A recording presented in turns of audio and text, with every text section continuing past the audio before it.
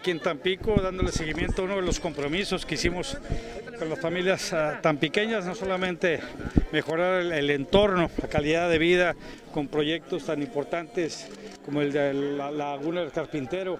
que, viene a darle un nuevo rostro a la que hoy por hoy es la capital de las Huastecas, sino que también un compromiso que habíamos hecho de pavimentar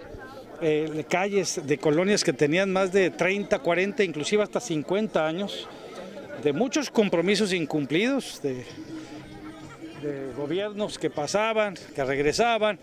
y donde pues eh, las familias eh, necesitaban que se hicieran esta clase de, de, obras de infraestructura, especialmente circuitos como el que estamos eh, inaugurando el día, el día de hoy. Nos acompaña el, el alcalde Jesús Chucho Nader. Nos queda la menor duda que el sur va a seguir creciendo